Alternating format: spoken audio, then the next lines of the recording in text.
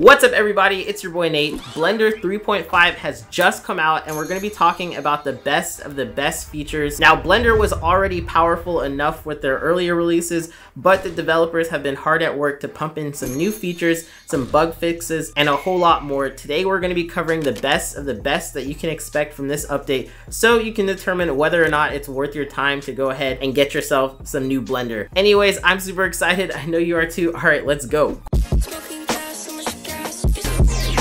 First up, let's talk about the animation features. So in this new version, Blender 3.5, we have the new asset browser pose library. To make this whole experience smoother, they've also updated the context menu, which now looks like this. And you can also apply poses directly from this context menu. As a little bonus, you can flip that blend pose by holding down control on your keyboard. Another pretty awesome aspect of this is that the pose assets can also be subtracted when blending by dragging to the left rather than just to the right. A huge, huge bonus to this as well is that you can also exaggerate poses by pressing E on your keyboard for extrapolate, which will allow you to increase the application of a pose by more than 100%. So you can get some pretty funky results here. Next up, we have the graph editor. So a new feature in Blender 3.5's graph editor is that you can now ease keys on an exponential curve with the new ease operator, which you can find by going right up here and then clicking under key and slider operators. Simply select the keys that you want to ease and then move your mouse to adjust. This is a super awesome feature and I definitely think it will come in handy. As another little bug fix or added bonus is that there is a better propagate pose operator now in Blender, which doesn't result in undesired behaviors when keys are not on the same frame. Just check out the difference between the old version and the newer version here. Next, we have huge improvements to Eevee and the viewport. So we have a new viewport compositor shading option that applies the result result of the compositor editor node tree directly into the 3D viewport. To access this new viewport compositor, all I have to do is turn on my viewport shading option and then open up the compositor tab. And here, if I go ahead and add in a quick blur to this image, I can start to see the results right here in real time, which is pretty awesome. Now, currently not all of the compositor setups are supported since this is a pretty new feature, but I think there's a lot of fun to have while playing around with this. Now, for Mac users, you guys are gonna enjoy some added improvements because now Blender is gonna use Metal for the user interface and 3D viewport. This will provide a huge, huge improvement to performance and stability. Next up, Grease Pencil. For those of you who love using Grease Pencil, we also have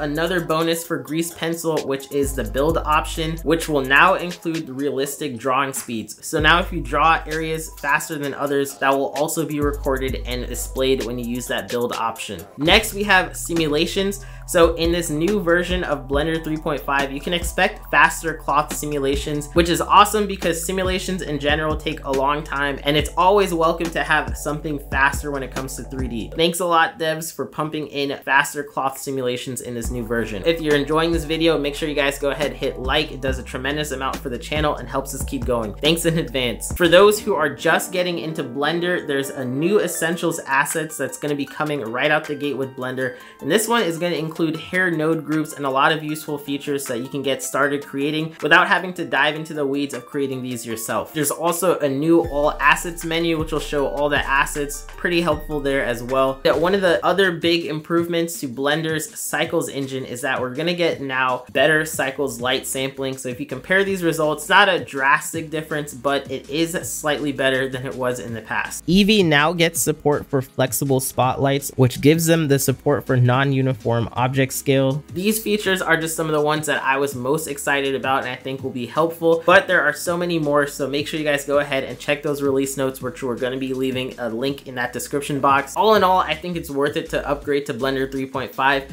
But if you guys have not even seen the older versions of Blender from 3.3 and 3.4, one of those ones which have a bunch of new features, I highly recommend you check out this video because we talk about some of the awesome features that you can expect there. Also, if you guys want to check out using ChatGPT in Blender to create some awesome setups, it's pretty cool and mind-blowing at the same time. Highly recommend you check out this video here that we got on the channel. Anyways, thanks for watching. I hope to catch you in the next one. All right, peace.